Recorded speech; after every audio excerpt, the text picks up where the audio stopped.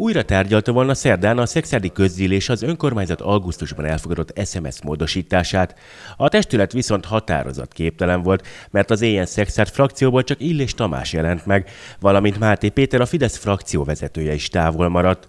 Az újra napirendre tűzött SMS módosítás lényege, hogy az önkormányzat a képviselői tiszteletdíjak mellett a civilben alkalmazottként dolgozó képviselők munkáltatóinak kifizeti azt a pénzt is, amiért a képviselő az önkormányzati munkája miatt nem tudott megdolgozni. Erre a jog lehetőséget ad, ám korábban Szexárdon hasonlóra még nem volt példa. Most az ilyen Szexárd több képviselője mégis igénybe vette a munkabérkompenzációt. A szexádi közgyűlést Ács Rezső a város polgármestere hívta össze, mert szerinte az SMS módosítása aggályos. Mindenképpen el kell gondolkodnunk, hogy mennyire veszik ők komolyan a képviselőséget, hiszen arról sem a kampányban sem azóta nem beszéltek, hogy fel fogják emelni a képviselői tiszteletdíjakat.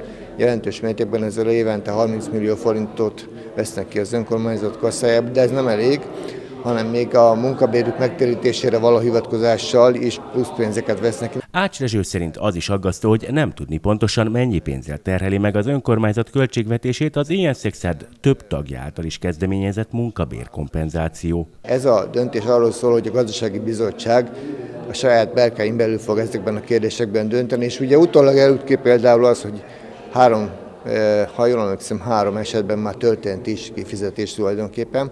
A Fidesz részéről soha nem érkezett ilyen igényes kérdés, az ilyen szexárt frakció részéről az elmúlt tíz hónapban meg igen. Ács Rezső arról is beszélt, hogy bár az ilyen szexárt frakció azt kommunikálja, hogy a polgármester nem működik velük együtt, a többségi frakció mostani távolmaradása is azt mutatja, hogy éppen ők azok, akik nem hajlandóak együtt a városért dolgozni.